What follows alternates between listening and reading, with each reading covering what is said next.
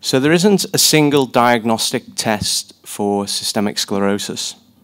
As clinicians, we're aided on the patient characteristics. We know this is a condition that affects ladies far more often than males, for example.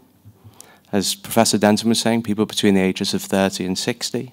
So the, the, time, the timing of the disease onset is important. Microvascular imaging is, is, is important. We've heard a little bit about the changes that you can view at the nail folds, and there are representatives here from uh, Salford Foundation Trust who will be able to show you some of those tools. There's the clinical features that people are presenting with. So Raynaud's phenomenon, puffy fingers, gastroesophageal reflux, and no doubt we'll hear more about that from uh, Dr. Delgado's talk. And then finally, these autoantibodies.